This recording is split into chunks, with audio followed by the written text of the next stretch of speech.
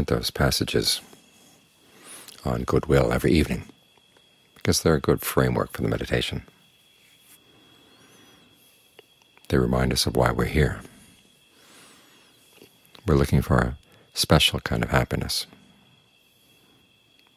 that happiness that doesn't conflict with the true happiness of anyone else. You look at the way most people look for happiness in the world, and you know, the pursuit of happiness leads to a lot of divisions. If I want something and you want the same thing, and it's a material object or a relationship of some kind, one of us is going to have to lose out. That's why the normal pursuit of happiness is often considered a selfish thing, and it creates a lot of divisions. But when we meditate, we're looking for a kind of happiness that doesn't need to take anything from anyone. It actually makes us better people, more generous people, so we have more, more to offer other people. It's a kind of happiness where we benefit and other be others benefit, and there's no clear dividing line. Of course, the special sense of well-being that you gain from the meditation is yours. But the fact that you've got that is a kind of strength and a kind of wealth. And it's through strength that we can be kind to others, and it's through wealth that we can be generous. So even though this strength isn't measured in external forces, and the wealth isn't measured in money, still it's a very tangible thing. So it's something you want to work on all the time, because it's useful in two main areas. One is dealing with your own internal pains and external dis discomforts, both physical and mental. Patience is an important part of the practice. Endurance is an important part of the practice. And it's not just simply gritting your teeth, trying to get through something. You develop a strength inside that you can tap into, a sense of well-being that makes it a lot easier. Endurance may not be easy, but knowing how to focus the mind, knowing how to control your thoughts so they don't create a lot of havoc inside can make endurance a lot easier to bear. The Buddha himself, when he was wounded by a stone, a stone sliver went right through his foot. You can imagine how painful that was. There's a passage where Mara comes and taunts him. Why are you lying down there like a sleepyhead? Are you drunk on poetry?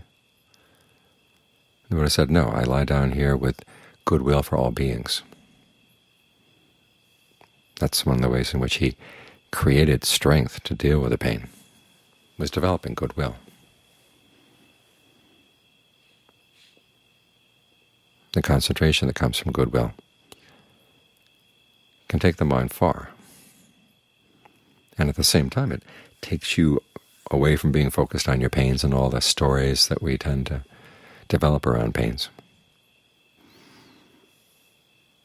As you know, one of the topics of meditation is looking at feelings in and of themselves, and it's hard to look at them in and of themselves. A feeling comes up, and we've got a story to go along with it. As, Buddha, as the Buddha said, we're shot by one arrow, and then we shoot ourselves with other arrows. The physical pain is the first arrow, and then all the other arrows that we think up. That's how we make it difficult to deal with the pain.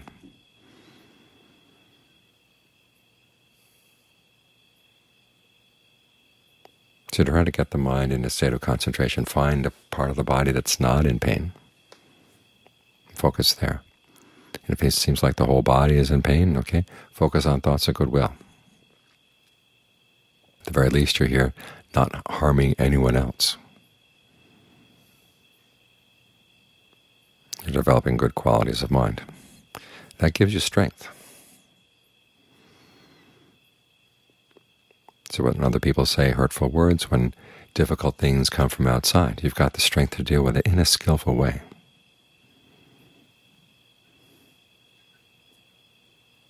One of the things I noticed coming back to America was a confirmation of something I'd learned in Thailand. Thais tend to regard Americans as being very weak in dealing with pain, dealing with difficulties. And you notice it after 9-11. A lot of people just couldn't handle the idea that they weren't perfectly safe. In Thailand, people have to learn that the danger is all around, and you learn how to live with it. And there are lots of discomforts in life. You learn how to live with those and not get overwhelmed by them.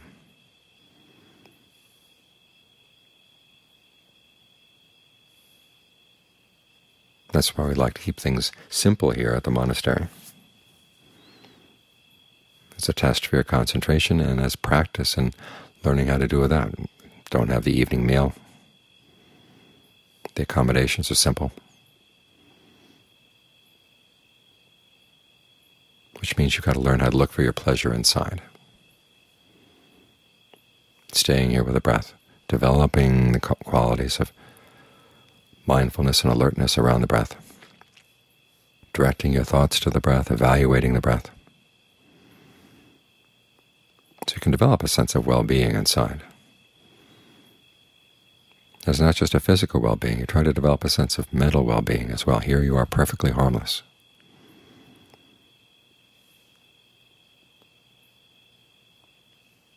That's a good thing to remember. Even when the meditation may not be going so well, the fact that you're trying to train the mind is a totally harmless thing. There's so few things in the world that are harmless. And you're developing strength, the kind of strength on which you can learn how to rely, learn how to trust yourself. Because as we all know,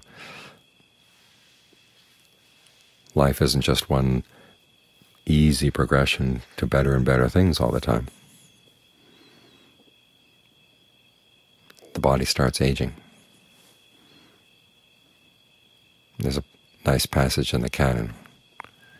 This one monk says, "In aging comes, it's like your body is like somebody else's. It's not the body you had before. You're used to having certain strengths, certain abilities, a certain level of health. And then all of a sudden this goes and that goes, and it's not like your old body. It's like it's something else.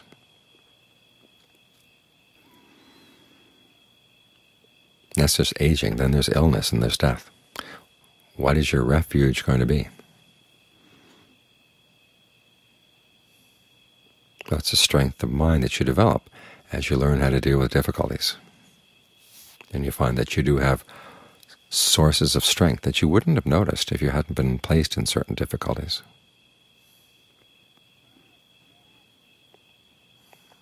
Ajaan Fuang had a number of students who after he passed away, began to slack off in their meditation. The ones who didn't slack off tended to be the ones who had an illness of one kind or another.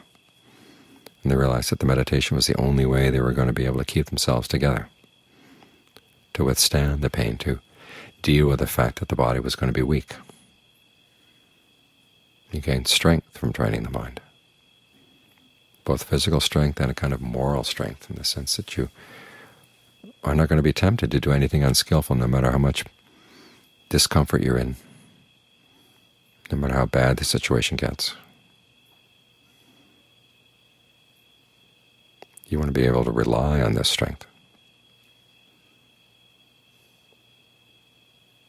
So we look for our goodness within. We look for our strength within, our inner wealth within.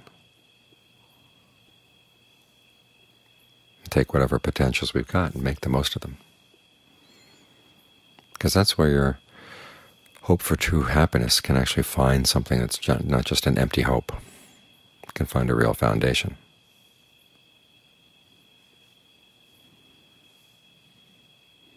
So it may seem like a little thing to work with the breath, but it's a really important skill.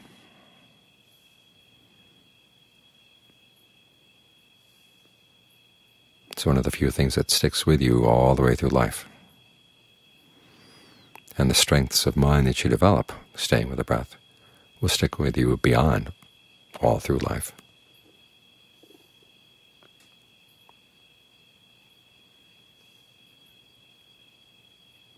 So give this practice the attention it deserves, the respect it deserves. One of the basic concepts in Buddhism is refuge, and this is where you find it. We've got the examples of the Buddha and the Dhamma and the Sangha. But for their examples to be really helpful, to really make a difference, we have to internalize their qualities. And that's what we do as we practice.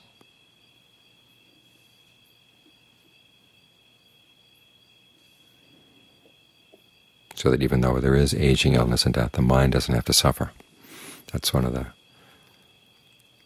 contemplations that the Buddha has you think about. You want to practice so you find an attainment inside so that even when aging comes, you won't have to suffer. Even when illness comes, even when death comes, you won't have to suffer.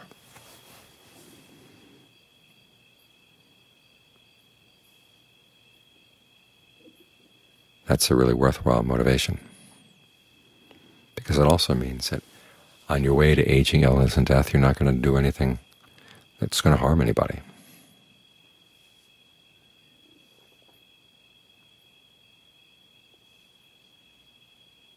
So like they say on those signs as you go into wilderness, you know, leave no trace.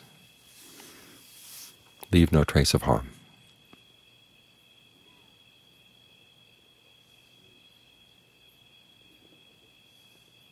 And you'll be able to look back on your life without any regrets.